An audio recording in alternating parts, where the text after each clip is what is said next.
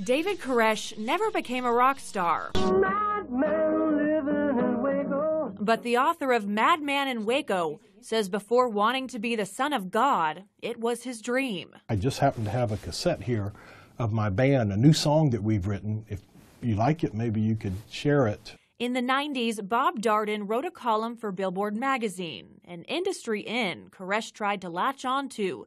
But even back then, this drummer knew the beat Koresh was marching to wasn't a good one. Go out there and jam with this strange guy? No. A strange guy, but one who in 51 days changed the worldview of Waco. The bad news it just happened to be near Waco, but it's not a Waco story. The story takes place about 15 miles away at Mount Carmel, the Branch Davidian compound the cult leader and his followers called home.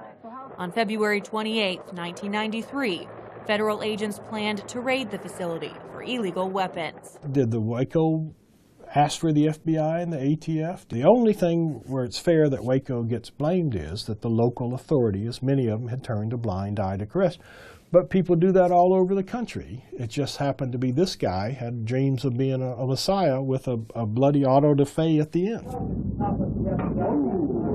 Let's start at the beginning. Koresh's real name was Vernon Howell, a high school dropout who hitched a ride to Waco in the 1980s and joined up with the Branch Davidians, an offshoot of the Davidians who branched away from the Seventh day Adventist Church in the 1930s and settled in an area that's now a Waco residential neighborhood. Here's Hotiff again. Darden, now a journalism professor at Baylor University, is considered an expert on the group's history and says Waco was chosen at random, but was known for its tolerance at the time. We generally leave people alone, for good or bad. Be according to the book.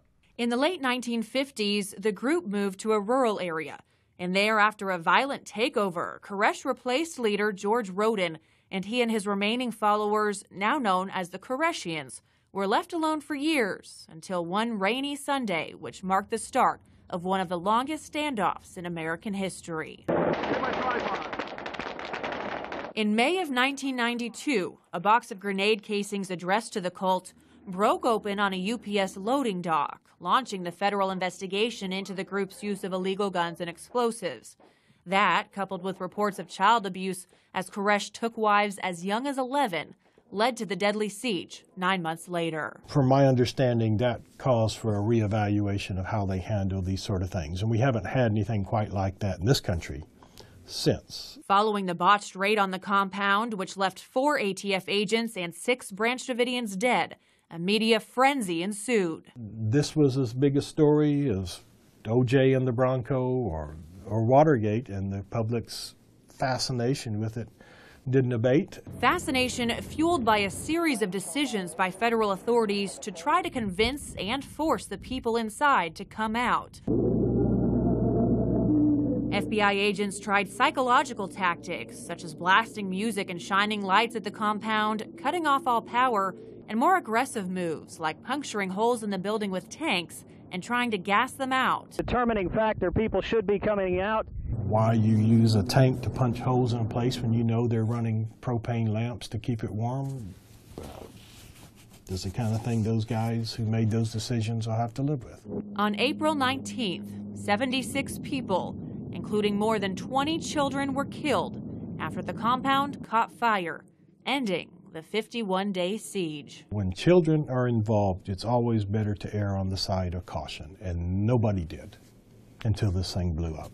Darden says after speaking to survivors, law enforcement, medical examiners, and more, both sides are to blame. We didn't find many heroes. But he's sure of two things. The ATF agents killed while following orders were heroes. And while there's still controversy over how the fire started, Koresh could have saved his followers. But the sinful Messiah's ego to fulfill his own prophecy was too great. FBI, which clearly has learned from this, made terrible mistakes. The people who followed Koresh made terrible mistakes. So there'll be no excuses. Koresh was not a good man. He did not have his people's best interest in heart.